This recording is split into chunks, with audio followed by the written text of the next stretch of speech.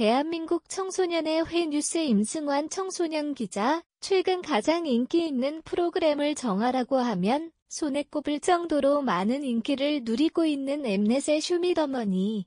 특히 이번은 시즌 10이라는 것에서 특별한 의미가 있다.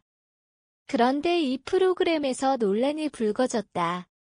바로 쇼미더머니 18회에서 공개된 비오, 베오의 리무진의 표절 의혹이다. 부드러운 멜로디와 중독성 있는 가사로 너무 좋다 완벽하다 등 여러 호평을 받고 있는 비오의 노래 리무진 마침표 하지만 지난 24일 월요일을 부른 가수 라이프 오브 하지 라이프 오브 호지지가 자신의 인스타그램에서 비오에게 표절 의혹을 제시하였다.